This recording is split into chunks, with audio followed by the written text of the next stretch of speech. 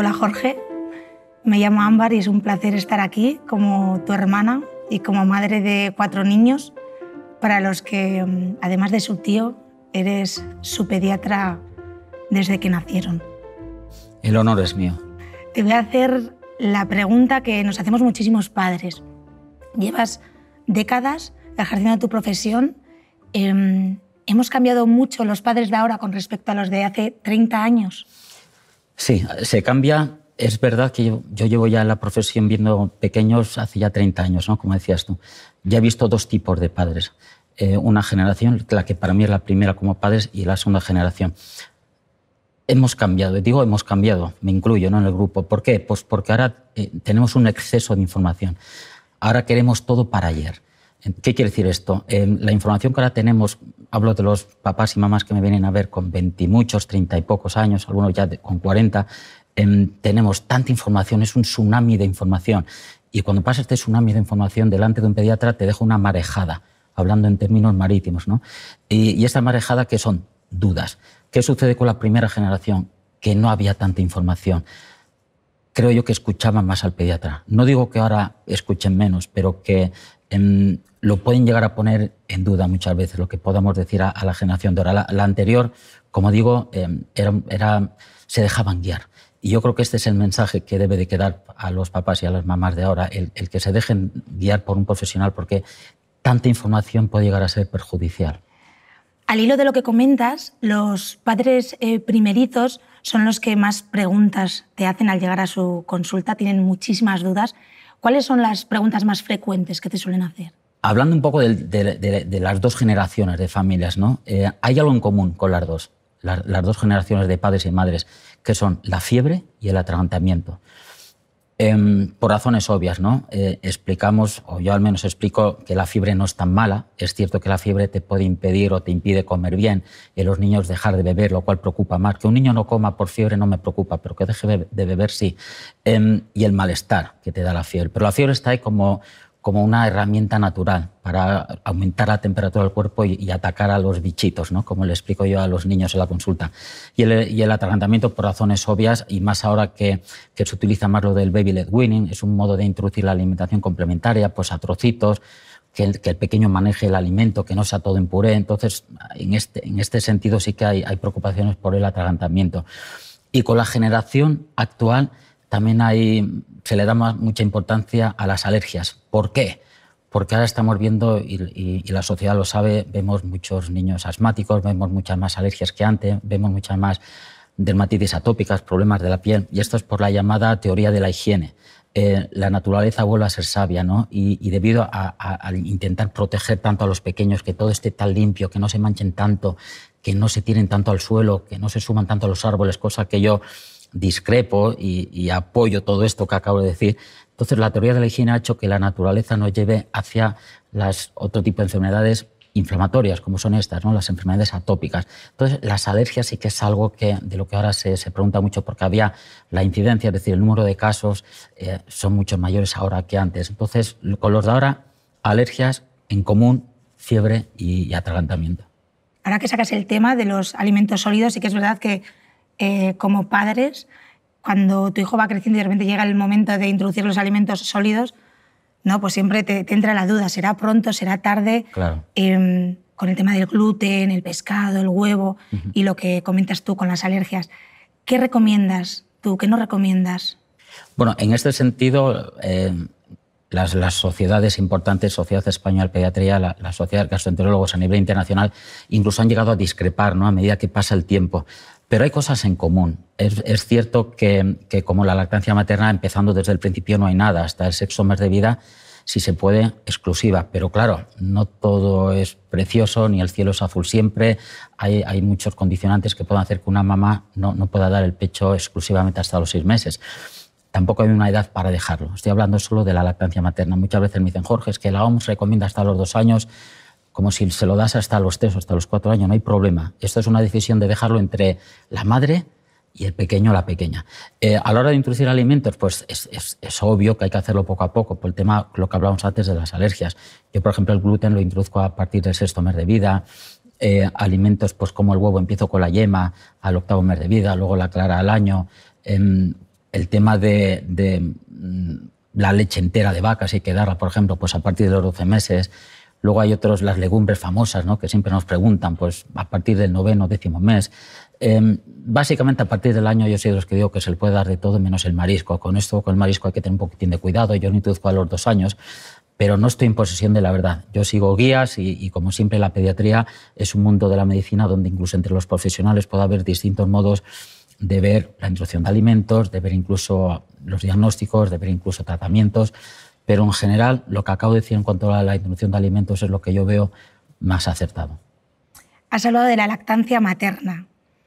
Hay madres que, no pueden dar el pecho, ¿no? para las que no es una una elección, no hay, no hay otra opción, no puedes dar el pecho. Esto es. ¿Qué les dirías? Porque muchas de ellas se sienten culpables. Así es, muchas no, pues, pues casi todas. Es verdad que entre los consejos que ya te están dando durante el embarazo, eh, las matronas que hacen un trabajo eh, extraordinario, eh, la sociedad en sí, ¿no? Como que la famosa culpabilidad, te pueden hacer sentir culpables de que eh, si no le das el pecho, eres una mala madre. Sobre todo este tipo de decisión, si le dio el pecho o no, suele aparecer al poco de, nacer el bebé. Al poco quiero decir que todavía las hormonas, en los cambios hormonales tan potentes que hay cuando nace tu, pequeño, tu pequeña, eh, que te entristece, la, famosa depresión posparto, a todo esto se acumula el sentimiento de culpabilidad tan terrible. ¿no? Pues yo les tranquilizo, les, suelo decir que, estén tranquilas, sobre todo que disfruten del bebé siempre lo intentamos. Estas conversaciones yo les reviso cada semana porque veo por dónde pueden ir los tiros. Hablamos desde mamás que por enfermedades que han aparecido repentinas pues no le pueden dar el pecho. Hablamos de mamás donde por tema laboral eh, tampoco les es posible o han de dejarlo.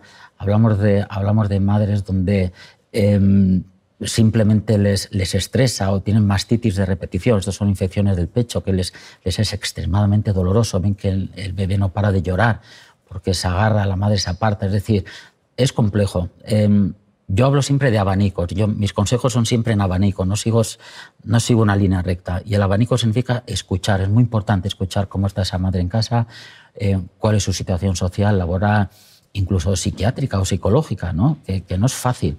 Y como vivimos en un mundo, para mí, mal llamado desarrollado, entonces pues podemos, hay otras herramientas, ¿no? como la lactancia artificial, que sí, por supuesto, si hace falta echaremos mano de ella, o la lactancia mixta, donde podemos compaginar eh, la lactancia materna con la lactancia artificial. Pero sobre todo que, se relajen, que, dejen ese saco de culpabilidad fuera. ¿eh? Y que me echen a mí la culpa de todo, que si a la familia hay alguien diciéndole es que no lo estás haciendo bien, es increíble que no le des el pecho, Jorge me ha dicho que esté tranquila, que hay más opciones. Entonces, para mí eso es muy importante. ¿Por qué?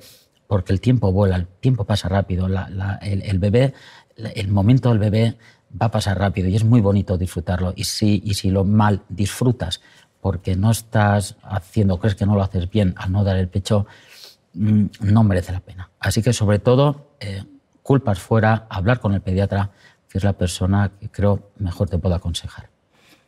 Yo cuando, cuando presencio este debate ¿no? entre diferentes madres siempre les cuento que yo descubrí una tercera variable con el nacimiento de mis hijos gemelos, que fueron grandes prematuros, como sabes. y, bueno, a ellos yo no les pude dar el pecho por circunstancias, porque yo estaba también mal. Muy mal. Eh, y, recibieron leche materna donada. Y para mí fue un regalo. Yo jamás, nadie me había enseñado que eso existía. De hecho, siempre digo que nadie te enseña a ser madre antes de tiempo.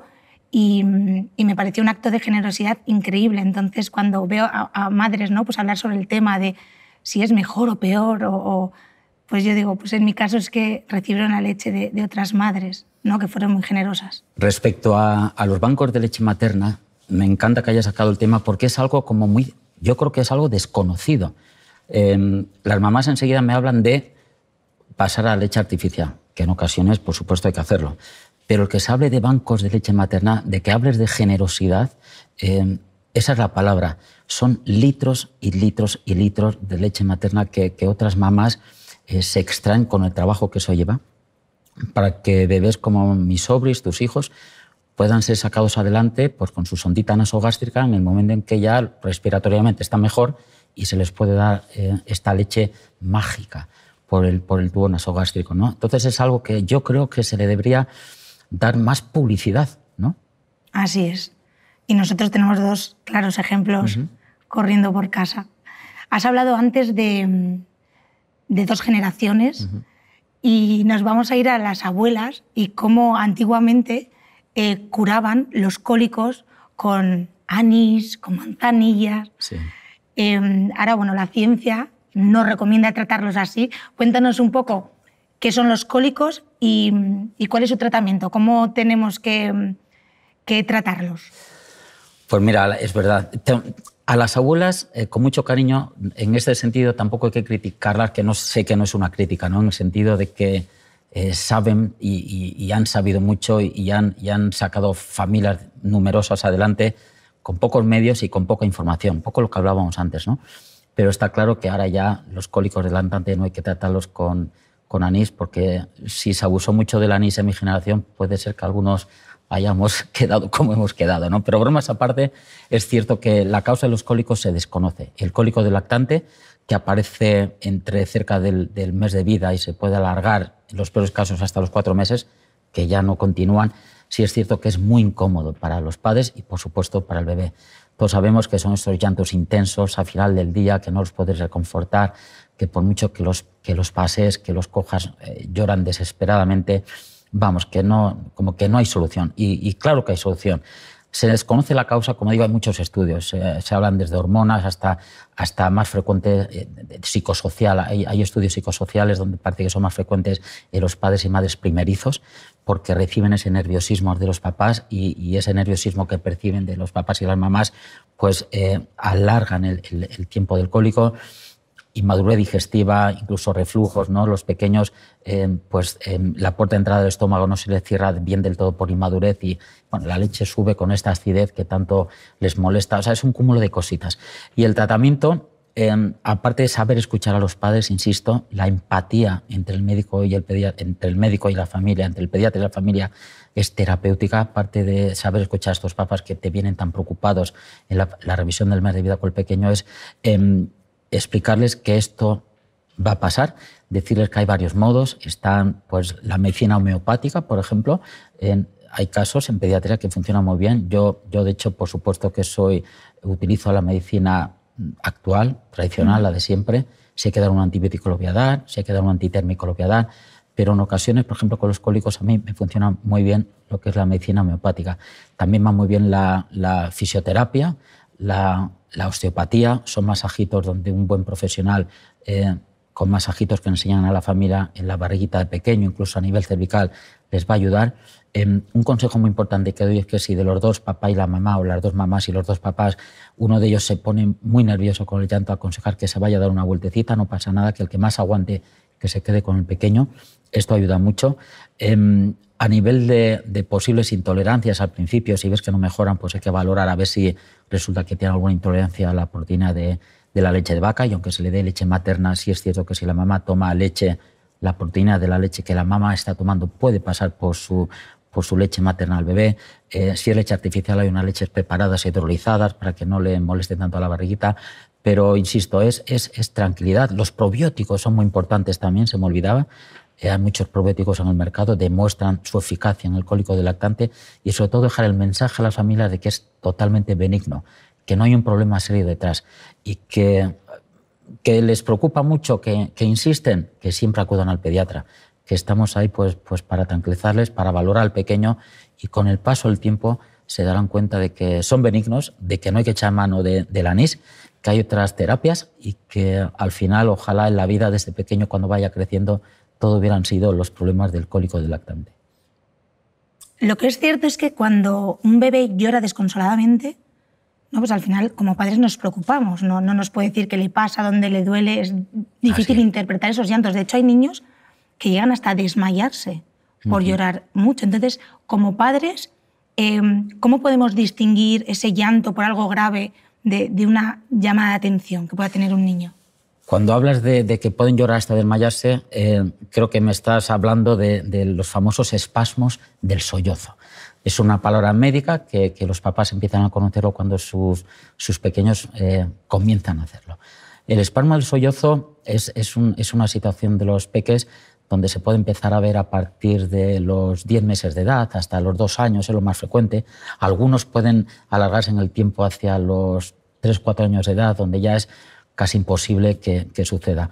Eh, ¿En qué consiste? Pues que el pequeño la pequeña se, da un golpe o un susto repentino, o incluso en el momento de la vacunación, ¿no? y este dolor repentino hace que lloren y como que ya no cogen aire. ¿no? Incluso pueden llegar a cambiarles el, color de los labios, tornarse un poco azulado incluso desmayarse. Imagínate si esto sucede en casa después de un golpe. ¿no?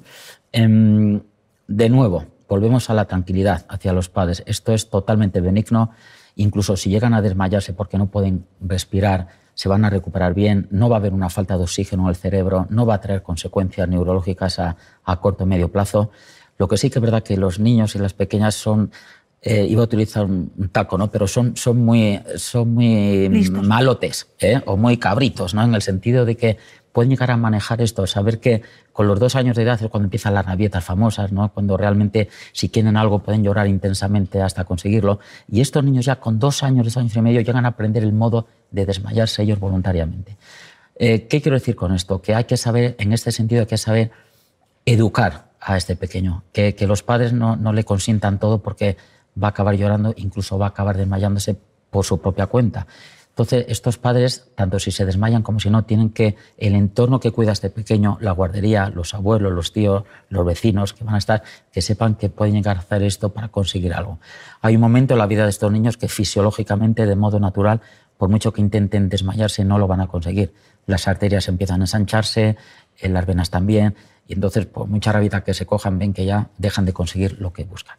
Y creo que te referías a esto. Em, una llantina, pues ahí volvemos a la educación. Es muy complicado educar. Para mí es la peor parte. Está el tema médico de unos padres como primerizos que son, pero luego el tema educativo para mí es todavía más, más complejo porque se alarga hasta bien avanzada, creo yo, la adolescencia.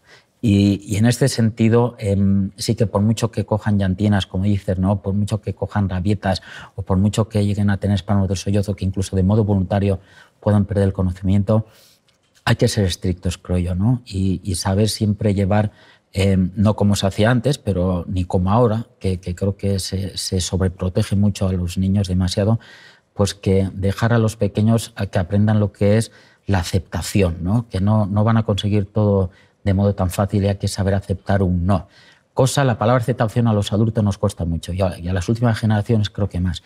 Em, aceptar significa pues, que si pierdes el, autobús, acepta que lo has perdido, no te rayes y esperas al siguiente autobús.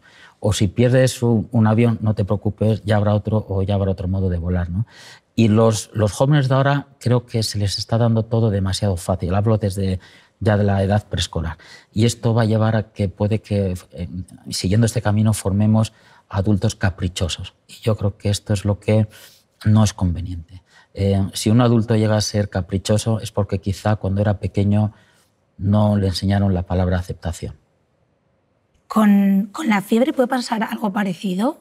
Cuando se tiene una fiebre muy alta en, sí, en niños pequeños. Sí, porque en, tu casa ha sucedido. Sí, lo pasé y has estado explicando y me, ha recordado. Sí, el me tema es interesante. Sí, me estás preguntando sobre las famosas convulsiones febriles.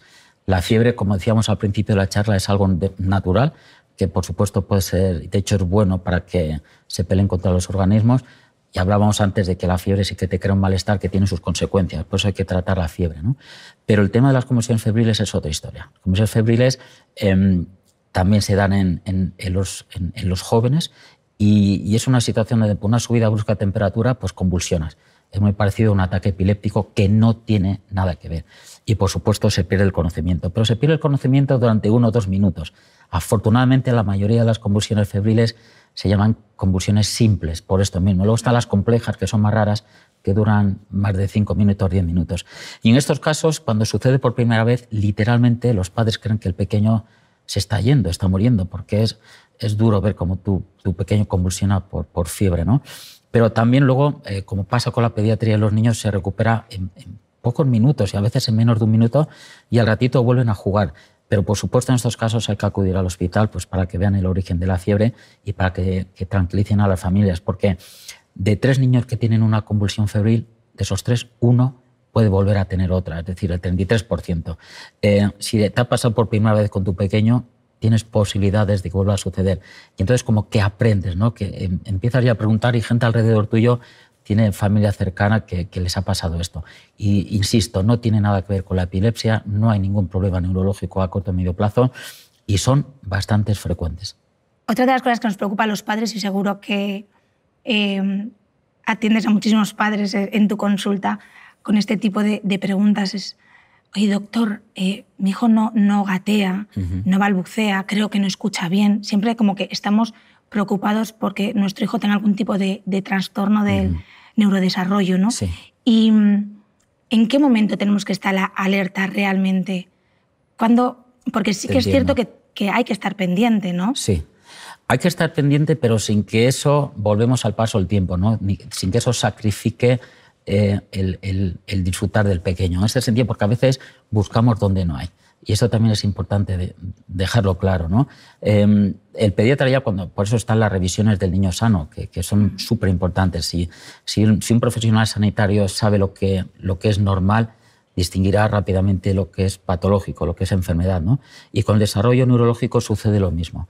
Es importante las revisiones, es importante preguntar eh, a las familias, a la revisión de los cinco meses, por decirte algo, tampoco me quiero extender, ¿no? pues preguntar si ya intenta girarse o, no o lo hace incluso cuando, ya, cuando está boca arriba. Es importante preguntar si ya se queda sentadito solo, si le colocas tú, no es que se tenga que sentar solo, pero si se queda sentadito solo con ocho meses de edad.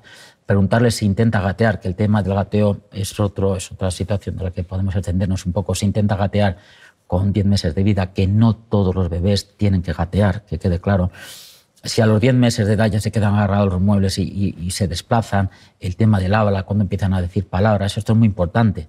Si, si el pequeño está creciendo en una familia donde se hablan dos, tres o incluso cuatro idiomas, eh, estos niños siempre van a tardar más en hablar, hay que tranquilizarles. Es fascinante la diferencia entre las chicas y los chicos, las niñas y los niños. Las niñas, desde que nacéis hasta la edad senior, sois bastante más espabiladas que los niños y los hombres, y esto se demuestra en el desarrollo, mucho más avanzadas desde, desde bien pequeñas a la hora de hablar. ¿no?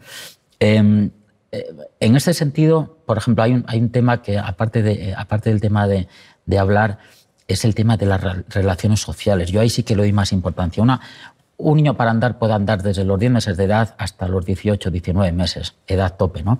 Pero las relaciones sociales, es cierto que genéticamente un pequeño tiene derecho a ser tímido, porque igual su padre o su madre lo es, que esto se hereda, tiene derecho a, a gustar estar solo de vez en cuando, a su rollo, ¿no? Pero socialmente, estoy hablando de los trastornos del espectro autista, socialmente sí que tanto las guarderías eh, como las familias sí que tienen que em, no estar pendientes, pero algún signo de alarma en el sentido de que quizá cuando está en la guardería no es que quiera estar solo un ratito, sino que no se quiere relacionar a los padres a la madre le llama la atención que no, les dan besos, que, no los quieren abrazar, que los llaman y no responden. Por supuesto, hablabas antes el tema de la audición. En estos casos es lo primero que hay que mirar. Incluso la visión hay que, hay que mirarlo. Pero debemos tener, cuando avanza el tiempo, sobre todo entre los, entre los 12 meses, digamos, 15 meses de edad y los dos años, es cuando el trastorno del espectro autista puede aparecer. Y si una madre empieza con dudas de repetición que insiste, aunque nos parezca una tontería, y ya no solo hablo del trastorno del espectro autista, el, profesional sanitario tiene que prestarle mucha atención. Y ahí es donde yo creo que se puede trabajar muy bien y con, y con unos resultados, incluso, mira qué palabra voy a utilizar, resultados preciosos. Yo he visto niños, pacientes míos con trastorno del espectro autista de varios grados de, de severidad, como todo en medicina y en la vida, donde actuando rápidamente con, con grupos de trabajo, con atención temprana, eh, ahora, yo llevo ya tanto tiempo viendo familias que me acuerdo así de repente de dos o tres porque tienen sus carreras universitarias, uno es un gran músico en Baleares, etc. ¿no? Entonces, ahí es donde el desarrollo neurológico, cuando, cómo se avanza en el habla, andar, etcétera, es importante, pero las relaciones sociales es donde debemos de estar un pelín atentos porque si se coja tiempo, el resultado es fantástico. Que se tarda en coger, habrá que trabajar más, pero el resultado también será bueno. Has hablado antes de, la madre que, cree, ¿no? que piensa que algo no va bien. Como médico, ¿tienes en cuenta eh, esas percepciones que podemos tener los padres, que no somos médicos, pero que en ocasiones sabemos que a nuestro hijo le pasa algo, lo que pasa es que no sabemos qué y por eso acudimos a un médico? Sí, es un poco eh, a, relación con lo que te decía antes. ¿no? Si, si, una madre o un padre te viene con frecuencia con algo que, que tú piensas al principio que para nada es importante, escúchalo. Un buen médico, ya no hablo de un pediatra, pero un buen médico eh, tiene que, buscar más. Si hay algo que por tonto que parezca nos preocupa, hablo de la pediatría, que es mi caso, eh, hay que saber escuchar más. Vuelvo al, escuchar. Es cierto que, la presión asistencial nos resta tiempo para poder escuchar todo el tiempo que nosotros queremos, pero eh, las madres hay un sexto sentido, fíjate, como la naturaleza, ¿no? Sois la que tenéis la suerte de tener un ser vivo dentro, que me parece fascinante. Entonces, este sexto sentido, como madres, el pediatra lo debe de, tener siempre eh, presente porque mm, hay cosillas que al profesional se le pueden escapar y la madre, que en ningún caso hay que considerarla pesada, o el padre, eh, nos puede dar una pincelada importante para el diagnóstico y tratamiento. Vamos a llegar al momento noche de los niños, ¿no? Acostar a los niños, dormirles que si no es bueno dormirles en brazos, o sí, porque mi hijo se duerme en brazos. Em, no, yo le dejo llorar porque se le pasa. No, yo le acompaño porque es mejor acompañarle. ¿Qué recomiendas como padres a la hora de, meter a los niños en la cama e intentar que se duerman plácidamente? Bueno, el fascinante mundo de la noche, como decías tú, el fascinante mundo de empezar a dormir con un, con un bebé, un niño que ya no es tan bebé. Pues eh, te voy a decir, no, hay una respuesta al respecto, te lo puedo asegurar. Eh, yo vuelvo a hablar de los abanicos de respuestas y de posibilidades que doy a las familias. Em, no sigo un camino de dejar llorar al pequeño hasta que ya deja de hacerlo y se duerme. No sigo el camino de que hay que tenerlo en brazos o sacarlo en el coche a pasear por la manzana, por el barrio hasta que se duerma. Hay un abanico. Y al final del día yo le di mucha importancia al cariño, ¿no? al, al contacto físico. Y y a, lo que le va mejor a, esos, al padre, a la madre y al bebé. Que les va bien tenerles dormir los brazos, pues los las primeras semanas de vida, los primeros meses de vida va a ser muy bonito. Pero a medida que ese pequeño vaya cogiendo peso, y esto es una realidad, yo he visto madres con, con, con tendinitis en la consulta, em, eh, con molestias de espalda, porque este pequeño empieza a pesar. ¿no? Entonces, estos casos quizás sea conveniente, eh, pues oye, a las famosas cunas que están pegaditas a la cama o el colecho dormir, dormir en la cama con, con, el bebé, ¿por qué no? Que antes se hacía muy poco, ahora yo creo que es lo más normal, eh, sobre todo con la lactancia materna, tener a tu pequeño al lado, es verdad que a medida que crece el pequeño y con cerca de dos años de edad te sigue pidiendo el pecho y sigue durmiendo en la cama, pues hay poco a poco quizá haya que pasar a, a, ese niño o esa niña a su habitación si tienen la suerte de tener otra habitación en casa. ¿no? Entonces, realmente no hay, no hay una respuesta, es, es cuestión de disfrutar eh, del momento de, eso sí, disfrutar, que no se cree un momento de estrés porque no es bueno para nadie. Eh, tampoco es bueno que se queden dormidos. Es un ejemplo claro, pues, pues viendo la tele o que el niño le tengas una tablet para que se duerma. Eso para nada es bueno, todo lo contrario. Estimula el sistema nervioso, los inputs neuronales y, ese niño tardará muchísimo en dormirse porque está su cerebro a tope porque está viendo dibujos. Eso no. Pero sí es verdad que en un ambiente calmado, tranquilo, si la mamá o el papá quieren estar con ellos en la cama hasta que se duerman, si lo quieren dormir en brazos, adelante. Como empiecen a meterlo en el coche para dar vueltas al barrio, lo pueden hacer, pero eh, los niños son muy listos, eh, el chantaje emocional lo, son expertos en manejarlo y se os puede complicar el tema de empezar a dormir si lo hacemos así. Pero hay muchas fórmulas para empezar a dormir, yo creo que todas son buenas, eh, incluso cuando se despiertan en mitad de la noche, mm, pues lo puedes pasar a tu cama si quieres, o puedes quedarte un ratito con él si tiene otra habitación, o, o, turnarse, o, o, a veces incluso el la leche, ¿no? ¿Por qué no ponerla otra vez al pecho? Y si no toma el pecho algún biberón en mitad de la noche, nunca va a ir mal. Ya el tiempo pasa rápido y son situaciones que no, no, nos debe de quedar sentimiento de que lo estamos haciendo mal, porque nadie tiene una respuesta, y lo he dicho desde el principio del tema de la noche. Hay muchas teorías, yo creo que todas son buenas siempre y cuando se amolden a tu situación familiar, que esto siempre es importante. El pediatra no, no solo cuida a los niños, debe de cuidar a la familia y pues, conocer bien el entorno de este niño. Em, ¿Qué opinas sobre las posturas, sobre las posiciones de, del bebé? ¿No? Porque mm, hay una temporada, durante una época, se dijo, no, mejor de lado, no. Luego otra, boca arriba, boca abajo. ¿no? Hablamos de la muerte súbita, los ahogamientos, nos preocupa mucho a los padres. Pues mira, clásicamente hasta hace no mucho, lo que decías, ¿no? se aconsejaba que durmieran boca abajo, pero se vio que había mayor aumento de, la llamada muerte súbita del lactante, que tanto, ahora, ahora menos, es decir que ahora menos, pero que tanta ansiedad eh, crea por razones obvias en, en los padres, ¿no? es, la muerte repentina de, un bebé. Entonces eh, se vio que, bueno, entre otras cosas, por supuesto, cuando la madre fuma, por supuesto, la lactancia materna ha demostrado que disminuye la incidencia de, muerte súbita lactante. Entonces, entre otras cosas, estaba el dormir boca abajo. Entonces se pasó a que durmieran boca arriba o de costado, que es un poco lo que se recomienda ahora. En, principio lo recomiendan hasta el año de edad, pero yo soy de los que cuando un bebé ya empieza a tener fuerza para levantar la cabeza o girarla si se mete en líos, igual porque está sobreabrigado, que esa es otra cosa que debemos, no debemos tapar tanto a los pequeños. Entonces, sobre el cuarto o quinto mes de vida ya son capaces, por supuesto, de, si están en apuros, pues moverse o desplazar el objeto, que suele ser una mantita una sábana, lo que le molesta. porque se vio que al estar boca abajo no tenían maniobra de acción y, se formaba pues, con, con la sabanita sobreprotegido, sobreabrigado, pues eh, una cámara de, del aire expirado que, era, que al final no les venía bien y, y puede ser una de las causas de este fallecimiento repentino. Pero volvemos a lo de siempre. Esto hay estudios, va cambiando, igual que lo de la introducción de la alimentación complementaria, pues ha ido variando. Pero en principio mi, mi, respuesta es esta, ¿no? Al principio que intenten que esté de costado. Jorge, es que no es casi imposible que esté de costado, pues puede estar boca arriba, no pasa nada. Jorge, si regurgita y vomita y se atraganta, pues no se va a atragantar. En, en un niño sano, no. Eh, ¿Por qué? Por el llamado reflejo de apnea. Si, si vomitara, pues enseguida se cierra la epiglotis, que es un cartílago que tenemos para que no se vaya el alimento o lo que regurgita hacia los pulmones, llorará y, y no, no, se va a meter en lío. Otra cosa es si desafortunadamente tuvieran un hijo con parálisis cerebral, donde no tienen este reflejo, y sí es cierto que hay que andar con mucho más cuidado. Pero boca arriba, de costado, si están cómodos, y cuando va pasando el tiempo, volvemos a la posición de abajo, cuando están boca abajo, si el pequeño está acostumbrado a, dormir boca abajo porque le gusta, porque no hay forma de cambiarle de postura, hay una edad donde se le tranquiliza a los padres diciendo que lo hagan, que, no va a pasar nada. ¿no? Volvemos a, a, la, a la tranquilidad, de transmitir esto. Es, cierto que la muerte súbita, del lactante crea ansiedad, pero para eso está el profesional, ¿no? para explicar, oye, eh, qué edad tiene el pequeño, cómo se comporta, ya empieza a girarse con cinco meses, Jorge se quiere dormir boca abajo, pues déjale dormir boca abajo, que no, que no pasará nada.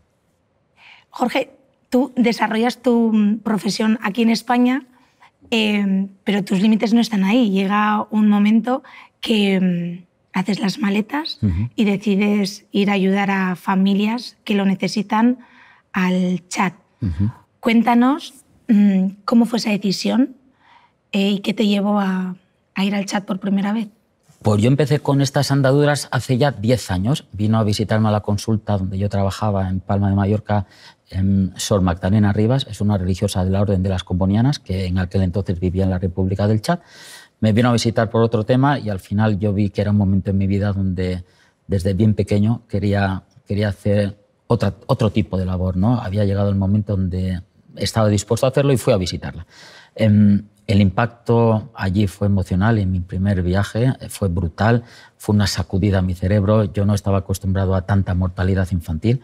Perdíamos en torno a dos o tres niños al día. Nada más llegar sin dejar las maletas ya teníamos que correr porque perdíamos a un peque. Y, claro, la falta de medios, la falta de infraestructura, em, ver que ese pequeño em, donde yo trabajaba hubiera salido adelante, me hizo valorar todo mucho más, me hizo regresar, no como si hubiera sido un viaje puntual en mi vida, del, que sacaría cosas positivas o no, sino que tenía que arrancar lo que es ahora una realidad, que es una ONG, Ayuda al Chat. Has hablado de los recursos, los medios allí son muy escasos. Háblanos del Hospital San Joseph, que es donde, donde tú trabajabas. Pues mira, el Hospital San Joseph, que está en Bebellá, al sur de la República del Chad, nosotros, es verdad que es un lugar muy conflictivo, llevamos de hecho dos años sin ir porque, bueno, asesinaron al presidente no hace mucho y ahora no, no, es, no es el momento para ir. También llegamos a ir en situaciones políticas complicadas, pero al final lo hicimos. Y el Hospital San Joseph, como digo, está a unas 10 horas en, coche de, de distancia desde Yamena a, que es la capital de la República del Chad, hasta Bebilla, que es donde está este hospital. Y el, primer hospital que conocimos nosotros pues era algo extremadamente bueno, cero infraestructura. Los, niños compartían un bebé enfermo en la cama, en, el cabezal, otro bebé en los pies, la mamá de un bebé en el suelo, la otra mamá en el suelo acompañando a sus hijos. Las mosquiteras estaban rotas, es, decir, allí se, convive con la malaria, con el SIDA. Eh, las habitaciones, bueno, te puedes imaginar cómo era aquello. Eh, las cámaras existen para grabar imágenes, las grabadoras para grabar sonidos, pero no hay ninguna máquina para grabar olores y al final en un hospital donde no hay medios ni recursos, hay muchas veces que solo puedes acompañar a, eh, a, las familias en ese momento. Yo me acuerdo de, de Brunel. ¿Te acuerdas de él? Sí, señora. Brunel es una historia muy dura, pero sí es verdad que, gracias a Brunel eh, pues se, hizo, se, dio a conocer ayuda al chat. ¿no? Recuerdo que yo escribía unos, diarios para casi de modo terapéutico. ¿no? Yo acababa el día y escribía lo que había vivido, lo escribía en caliente y fue tan impactante que, oye, que golpeó los grandes periódicos. Fue, fue bastante mediático, ¿no? Mis blogs, pues por, quizá por la dureza del texto, ¿no? Pero por una realidad que como que, se desconoce o como que nos damos la vuelta y no queremos escuchar, ¿no? Y de ahí también surgió El infierno más bonito que conozco, que es un, un libro benéfico que terminamos la tercera edición y todo lo recaudado fue para, para esta gente y, y es verdad que, que, con las fotos del gran Pep Bonet eh, fotoreportero de renombre internacional mallorquín, que me acompañó en unos viajes, pues eh, pudimos dar a conocer lo que, lo que era el Hospital Saint Joseph, ¿no? que me preguntabas. La historia de Brunel, como que hubo un antes y un después. ¿no? Siempre, en alguna ocasión he dicho que, que a nadie se le olvida cuando ve morir a un niño por hambre, si eres testigo directo, pues hay un antes y un después a ese momento. Eh, Brunel fue también otro de estos pequeños ¿no? que, que, lo perdimos, donde el hambre, por supuesto, tuvo, tuvo mucho que ver. Brunel se nos presentó al hospital con temperaturas que, que, no le bajaban. La familia nos decían que llevaban ya 10 días con... No podían medir temperaturas porque no tienen termómetros, pero sí es cierto que, que niño ardía, que dejó de comer, dejó de beber y llegó con unas lesiones en la piel que yo en mi vida había visto. Tenía heridas por todo, por todo. Eh, de dónde venían estas heridas, ¿no? ¿Por qué las tenía? Este pequeño, después de, sacarle fotos y preguntar a expertos de medicina tropical aquí en España qué podía ser, nos hablaron que era la enfermedad de, monkeypox. Es parecida al chickenpox, que significa varicela. En inglés, monkeypox es una enfermedad que se transmite por mordedura de, mono o entre, personas, donde el pequeño, pues aparte de fiebre muy elevada, malestar brutal, tenía estas lesiones en la piel. ¿Qué sucedió? Que aparece en escena el chamán. El chamán es una persona que estando allí, si vienes de fuera, hay que saber respetar, no compartes nada viniendo de, donde yo vengo con la medicina que ellos utilizan tradicional, nada o casi nada puedes compartir porque a veces hacen, muchas veces hacen más, más mal que bien. En este caso, pues utilizó ungüentos para intentar curar la piel de este pequeño, creando todavía una infección generalizada. ¿Recuerdan sus heridas? Sí, sí, las heridas. Hay fotografías donde me acuerdo que, que Reina Yadó, una gran compañera mía pediatra, intentaba limpiarle en una bañerita. Las curaba. Con, con pues, pues, con, con, soluciones yodadas ¿no? para, para, quitar o evitar esta infección tan, tan brutal. Eh, y recuerdo algo, nunca se me olvidará. Eh, la doctora Yado es experta en nutrición. Eh, eh, se puso ella misma a hacer unas papillas hipercalóricas, hiperproteicas, y ella misma con una cucharita y mucha paciencia le iba dando de, comer a los pequeños.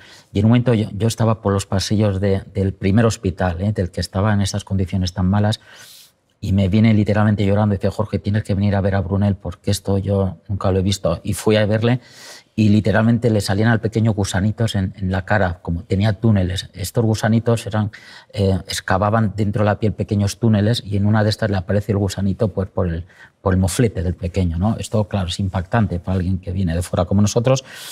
Y, y, esto era un signo importante de la gravedad. Este pequeño, el dolor suyo era terrible debido a estas excavaciones que hacía los gusanos, no solo por la cara, sino por todo su cuerpo. Em, desafortunadamente, o quizá afortunadamente para Brunel, al día siguiente de esto tuvo lo que se llama en medicina una invaginación intestinal. Es como cuando un telescopio lo abres lo cierras o te quitas los guantes de cocina que se quedan dentro, los intestinos pueden hacer lo mismo. Esto se da aquí también. Eh, es como una obstrucción intestinal y aquí teniendo medios, pues lo que haríamos aquí en estos casos es en un hospital donde hay una UCI pediátrica se le se pone eh, aire por el recto o un enema en forma de líquido para desatascarlo con una imagen de radiografía correcta, hacer un diagnóstico correcto con una ecografía, es decir, necesitan medios.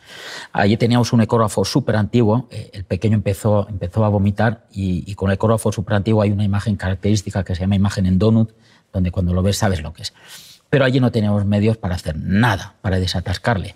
Y, nuestro pequeño se fue eh, pues porque, por esta invaginación intestinal que en otro lugar no hubiera sucedido. Y ya desde el principio no hubiera estado en ese estado en el que estaba, ¿no? con estas heridas en la piel, etc. Em, digo esto porque para nosotros fue algo súper duro eh, de Brunel y, fue muy impactante. De hecho, fue eh, ese capítulo del diario igual me salió de mi corazón todo y de mi alma cuando escribía, que, que llegó, como digo, a, ser el, origen de un cuento benéfico, que lo escribió Mabel García, que, que, me acuerdo cómo quedé con ella aquí en Madrid, lo leyó y quería hacer un cuento, dio el origen a las entrevistas, etcétera, y dio origen a grandes ayudas que después, cuando hicimos el, el evento aquí en Madrid, fue fue un poco el origen de poder hacer la parte nueva de pediatría. ¿no? Todo, todo suma, los diarios, eh, los medios de comunicación que siempre nos han ayudado mucho, la gente, el cariño, la generosidad y, ver cómo, pues oye, eh, abrir un poquitín los ojos, porque ahora creo que vivimos una sociedad donde las ventanas de nuestras casas son como espejos, ¿no? Solo nos miramos hacia adentro. Mm. Yo creo que deberíamos de tener nuestras casas cristales, no espejos, para tener una visión más universal de cómo pueden estar otras personas. Yo recuerdo que en ese viaje yo además estaba de parto, nació mi segundo hijo, que más se llama Bruno y no sé por qué. Es increíble. Me acuerdo de, Brunel.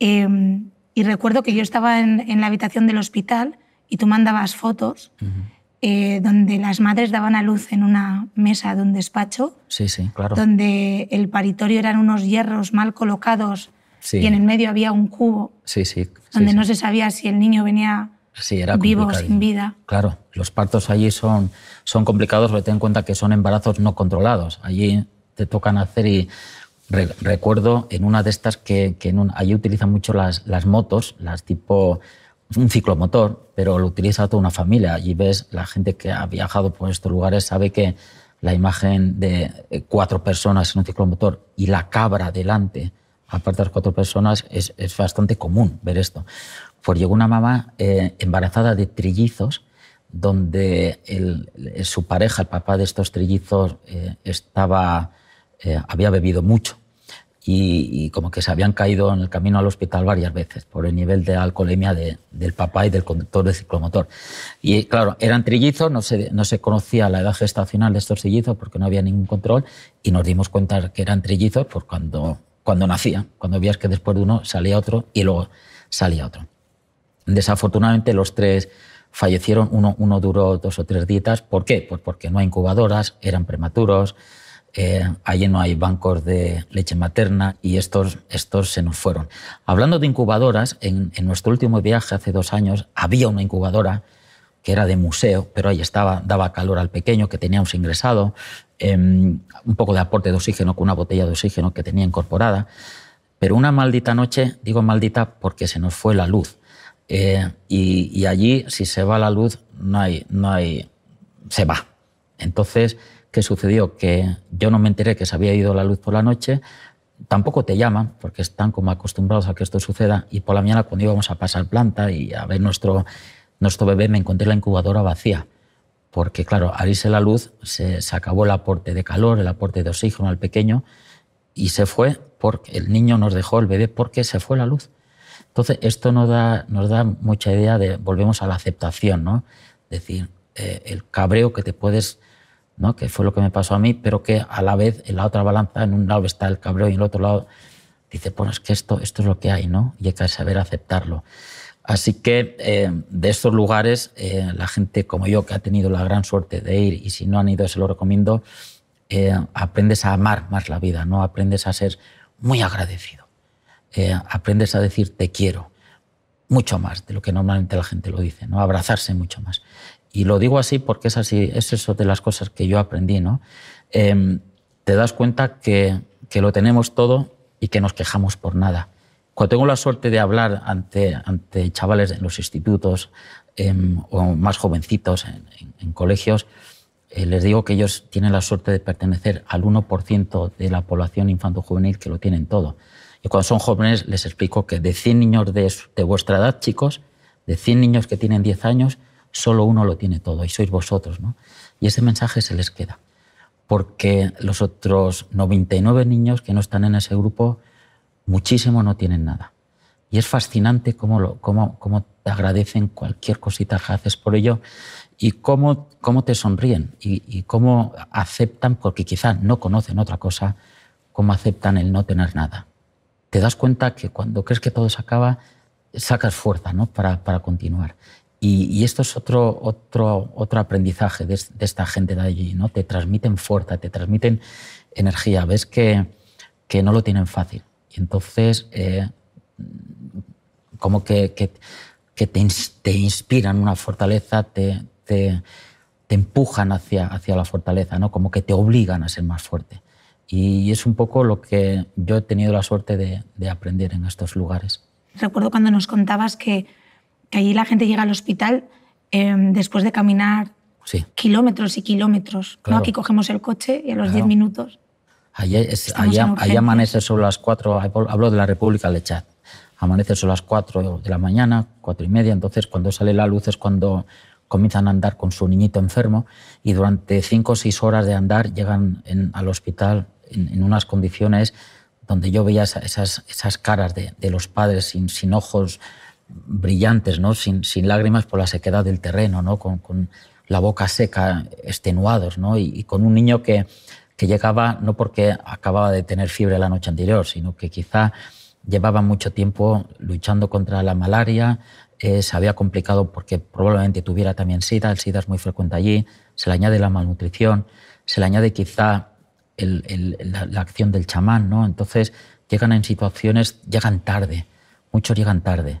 Entonces, por eso la mortalidad es tan alta, porque llegan tarde, en, este, en nuestro caso es un hospital, el único hospital, eh, imaginaos la Comunidad de Madrid, pues con solo un hospital, al que además no tienes medios para, para acudir, tienes que hacerlo andando o en un ciclomotor, si tienes la suerte de tener uno.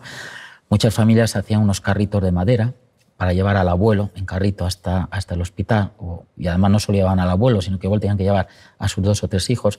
Las familias duermen en la calle, en el hospital. Eh, al principio no había cuarto de baño, teníamos que esquivar las heces de, de los familiares para llegar a la habitación de los pequeños. Luego ya hicimos unos baños en el nuevo hospital. O sea que, como veis, es otro, es otro mundo al que yo definí el infierno más bonito que conozco. Por eso mismo, porque ese infierno para mucha gente y, y para mí, eh, a mí personalmente, me enseñó las, las, las mejores cosas que, que conozco como, como, persona. Los niños llegan desnutridos Ajá porque también ahí hay un, no hay una tradición, ¿no? Cuando no hay alimentos para todos, ¿cómo se reparte la comida entre las familias? ¿Te acuerdas de esto, eh? Me acuerdo de todo. Sí, no se olvida esto. Allí tradicionalmente tienen muchos hijos, son, son familias muy numerosas, están, no sé si utilizar la palabra, están acostumbrados a, que, a perder hijos, sufren, ¿eh? cuando lo pierden también sufren, ¿no? no es que sufren. Hay una tradición que también la voy a meter, que es que cuando fallece un niño, esa misma noche que muere el niño hacen el amor para engendrar otro niño, es obligatorio. ¿eh? Es un poco la tradición. Y lo de la comida, primero come el padre, si sobra alimento, eh, come la madre, y si sobra alimento, come los hijos de mayor a menor edad. Es decir, que el quinto hijo pequeño no suele tener nada para comer. Y esto yo lo he visto. Y, fue fascinante cómo un niño de estos pequeños en el hospital, incluso en el hospital las familias continuaban con esa tradición, cocinaban fuera del hospital, veis sus fogatas con sus cazuelitas y come el padre, come la madre y el niño que está enfermo, el más joven, sigue siendo el último en comer. Y hay una foto fascinante de Pep Bonet donde un pequeño está con una cuchara de madera comiendo lo que le había sobrado, que era el niño que estaba enfermo. Y cuando yo voy a ver a este pequeño y, y la madre le da la cazuelita, cójase con la cuchara el niño y lo que hace es me ofrece a mí lo único que quedaba de comida para él. Eso es generosidad. Y, y, y esa es una de las tradiciones. Hay muchas que, que, desconocemos, pero una de ellas es esa. Y a mí me marcó. Como ir al chamán antes de acudir a un hospital. Llegan cansados después claro. de andar kilómetros, llegan desnutridos y llegan después de una visita al chamán Claro. que en la mayoría de los casos, por no decir en todos, no ha hecho más que empeorar las cosas. Sí, sobre todo empeorar las cosas. Em, tuvimos la suerte de conocer a uno, eh, tuve la suerte, Pep Bonet ha sido, creo que de momento eh, nadie ha entrevistado a un chamán en el chat. En la República del Chat es un lugar donde las cámaras están prohibidas, las tienes que pasar medio como si estuvieras haciendo contrabando con algo, por eso Pep Bonet me quiso acompañar porque de su equipo de NOR, que son unos super fotoreporteros, nadie había ido allí. Y, y fuimos, un viaje muy complicado, pero conseguimos llevar el material allí. Y, así fue, pudimos grabar al chamán. Eh, las respuestas que salen en el documental del infierno más bonito que conozco eran casi aterradoras, como él estaba convencido de que él tenía razón y, nosotros no, en su medicina. Y volvemos a lo de siempre, ¿no? Cuando vas a estos lugares no tienes que ir con la idea de ser un colonizador, ni mucho menos. Yo, yo respeto mucho las tradiciones, respeto mucho las culturas y tienes que ir con sumo respeto. Otra cosa es que compartas o no lo que escuchas, ¿no? Y, la entrevista con el chamán fue dura porque esta persona en particular eh, sabíamos nosotros que, era la, causa de, no sé si es la palabra exacta, igual estoy metiéndome en algún jardín, ¿no? Pero un peso potente en por qué muchos niños se perdían, ¿no? Por no, bueno, por no hacer las cosas, ya sé que tienen pocos medios, pero al menos la medicina natural que existe y es muy buena, la medicina china es excepcional, entre otras medicinas naturales y tradicionales, pero haciendo buen uso de ella. Y este hombre no lo hacía. Entonces, eso complicaba un poco la salud de, de sus vecinos. Háblanos de los niños serpiente. Los niños serpiente, hablo de, la, de, la, zona esta, ¿eh? del, sur de la República del Chad. Allí los niños tienen que, ayudar a las familias rápido, ¿no? En cuanto pueden andar ya, les van a, a, poner a hacer algo, ¿no? o aunque sea recoger ramas para hacer una fogata, o acompañar a los hermanos mayores a pescar. Pero cuando un niño ya va creciendo, y mira, podemos tocar el tema del neurodesarrollo, ahí, por ejemplo, no saben lo que es un niño con síndrome de Down.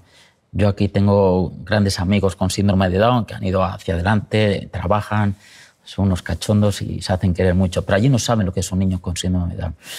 Y conocimos a un pequeño que, que recuerdo que, que era, una pareja que no, cada vez que tenía un bebé, lo perdían. Y por fin tuvieron, tuvieron, tuvieron su bebé y además lo llamaron como un expresidente de la República Francesa, Mitterrand. Y nuestro pequeño Mitterrand, era, tengo fotos de él, era un niño con síndrome de Down, pero ellos no lo sabían. Y claro, cuando lo vimos ingresado, porque venía con malaria también, venía con neumonía, problemas respiratorios, eh, ahí nos dimos cuenta que era un síndrome de Down. Ni se lo dijimos a los padres porque no lo iban a entender. ¿Qué pasa? Que este pequeño con síndrome Down, que cuando yo le conocí tenía un añito de edad, em, o año y medio, em, al año siguiente, eh, ya como, como notaron algo en este, este, pequeño, yo pregunté por, por Mitegan, porque era de la zona, oye, ¿cómo está el peque Mitegan? me dijeron que había pasado a ser un, niño serpiente. Esto lo cuento porque es real, lo he visto yo, y respondiendo a tu pregunta. En esa zona, cuando un pequeño ya no, sirve para la familia, o bien porque está muy enfermo, o porque como Mitterrand no iba a poder hacer nada porque estaba allí. Aquí en, nuestro país los chavales y niñas con síndrome de Down hacen grandes cosas, pero allí no porque no hay medios. Entonces se convierte en niño serpiente. ¿Qué significa esto? Que la abuela de la tribu, la, mujer más senior, le da de beber su orina para empezar y después de beber la orina se la lleva, se llevó a Mitterrand a una zona de juncos aislada, muy extensa, superpoblada de serpientes. Y, dejan ahí el niño y vuelve sin el pequeño. Entonces ya las serpientes se encargan de hacer el resto. Esto es un niño serpiente y esto es verdad. Y esto existe. Y esto lo he vivido yo. Entonces, claro, eh, te sacude. Te sacude el alma, eh, te sacude la cabeza y te cambia como persona. No sé si para bien o para mal. Pero a mí me cambió. Y después de haber vivido esto, después de haber visto todo lo que tú has visto allí, ¿crees que hay esperanza allí para estas personas, para estas familias? Sí, te voy a decir que sí porque mucha gente me lo ha preguntado, mucha gente me decía, Jorge, ¿por qué vais? Allí mueren todos. Pues no es verdad, no mueren todos. Si con los pocos medios que tienes eh, un niño consigue, porque la frase salvar vidas me parece muy arrogante, nunca la he utilizado, ni me gusta escucharla, ¿no? Nadie es quien para salvar vidas, pero es que puedes ayudar a que continúen. Claro que hay esperanzas. ¿Por qué? porque si hay un pequeño consigues, consigues no perderlo con los pocos medios que puedas tener, este pequeño crecerá, está ya la, llamada selección natural de la especie. En estos lugares, cuando llegas a los cinco años de edad, ya, ya has conseguido pasar una barrera importante que te va a permitir llegar a la adolescencia. Eh, allí físicamente los chadianos son eh, estatuas, son perfectos, son fuertes, porque la, la, selección natural de la especie se lo ha permitido. Digo esto porque si al final conseguimos que un pequeño no se vaya, este pequeño crece y tendrá familia casi seguro. Y si tiene cinco o seis hijos, estos cinco o seis hijos volverán a tener otros cinco o seis hijos. Es decir, que, que con una gotita has hecho un mar, como decía Santa Teresa de Jesús, ¿no? El, el, mar está hecho por gotas. Entonces nunca hay que desistir, nunca hay que perder la esperanza. Y ya no solo en estos lugares, en nuestro, en nuestro día a día. ¿no? Eh, si tienes un sueño, persíguelo. Si te dicen que, que es imposible conseguirlo, respeta lo que escuchas, pero eso te debe de dar más fuerza. ¿no? Por eso cuando a mí me decían no vayas porque aparte que os ponéis en peligro, poco vais a hacer, eso me daba más fuerza, a mí y a nuestro equipo. Así que ese es un poco el mensaje. Siempre hay esperanza. Y para terminar, ¿qué te ha enseñado el chat? ¿Qué has aprendido? ¿Qué te llevas? Pues mira, yo creo que me llevo, creo que lo hemos estado hablando, ¿no? Desde el momento que hemos tocado África, ¿no? Eh, que por cierto lo llaman el corazón seco de África, al chat lo llaman así. Eh, me quedo con, con, la humildad de las personas, ¿no? Con, no, no me encuentro con gente arrogante. Yo creo que la pobreza extrema te lleva a, ser, a no ser arrogante. Me quedo, me quedo con la generosidad, sobre todo con la generosidad. Y el ejemplo muy claro lo, os lo he contado con el pequeño que solo tenía una cucharada para él estando enfermo y me la ofrece a mí. Eso es magnífico, eso es grandioso, eso es imperial. ¿no? Y, y me quedo sobre todo con, con el amor, ¿no? con, con la falta de amor que creo yo en nuestro día a día eh, nos lleva como que a dejar un poquitín apartado. ¿no? Yo sé que están sucediendo y suceden muchas cosas en nuestra sociedad, como digo yo, mal, mal llamada desarrollada, pero allí, allí hay mucho amor y, y, se transmite. A pesar de vivir en las condiciones en las que viven, la familia sigue siendo la familia y, y el amor hay que respetarlo. Y de hecho el amor es terapéutico. Pues muchísimas gracias. Gracias por enseñarnos tanto. Eh, gracias por eh, haber perseguido tu sueño. Yo sé que desde pequeño, con cinco años, decías que querías ser mediquito. Uh -huh. eh, gracias por haber acompañado a tantos padres. Gracias por haberme acompañado a mí. Eh, yo he crecido como madre teniendo la suerte de tenerte cerca y gracias porque no paramos de, de, aprender contigo y hoy ha sido una muestra de ello. Bueno, gracias, hermana. Muchas gracias a ti por la entrevista. Yo sé que aprendo de ti y espero que nuestra charla tan familiar ayude a la gente como, como la gente nos ayuda a nosotros. Muchas gracias.